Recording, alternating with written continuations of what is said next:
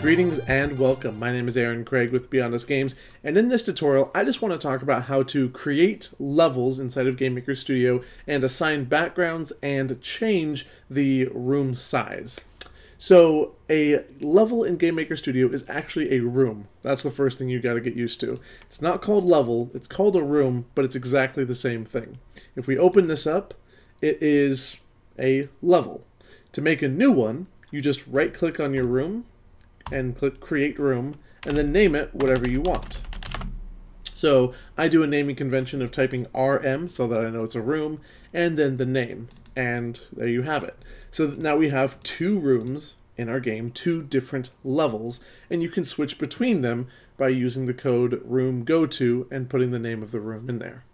So in our room, if we want to apply a background, we need to click on the layer background. There are several different layers that you can have here, such as instances, tiles, paths, and assets, and each one of those deserves its own videos, which you can check out on my channel. But I want to talk about the background layer specifically because there's a lot you can do with it. So if you want to have a background in your game, you need to have a sprite.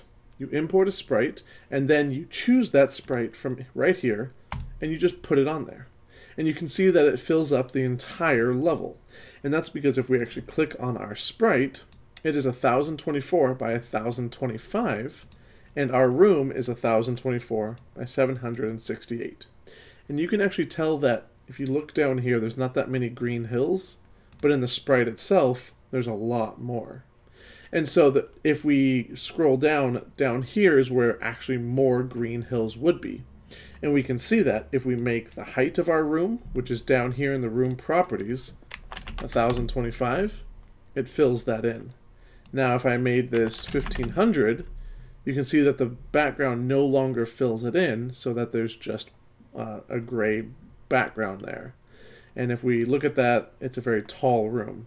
Let's go ahead and change this back to what it was before and press this button to center fit the room. And so that is how you put a background in. But what if we have a background that needs to be tiled somehow? Well, I've got clouds right here and I'll have links to these that you can download, or you can just make a sprite and follow along, whatever you want to do. I've got some clouds here that are designed to be horizontally tiled and look really great when they are. So if we click on this horizontal tile button, it does that, and you can see it looks really nice. Now, we also can animate these. So if we scroll down a little more, we have horizontal and we have vertical speed they are both set to zero by default, but if we put horizontal speed at one inside of here, or two, then we press F5 or the play button to run our game, you'll see that the clouds are actually moving, and that looks really cool. Maybe a little fast, but it still looks really nice. Now, we've got a lot of space down here that's not being used. So if we want to fill that in with something, we can actually make a second background layer by clicking on this button right here. We need to make sure it goes underneath our other background layer. And then you can see that the clouds are on top. And we can put a different one inside of here, such as that first one we did. And then the art style is a little different, but it still looks really nice, I think. And you get this idea that you can have multiple backgrounds in here. Okay, so we've got that. I'm going to delete the extra background layer. And what if we have a background that we want to tile completely so that it just always fills up our room? Well, I've got one right here. And if we click on vertical tile as well, it will always fill up the room, no matter how large we make it. If I put 2000 by 2000, you can see here that it still fills up the room completely. Horizontally and vertically tiled means that it's going to fill up the entire room background all the time.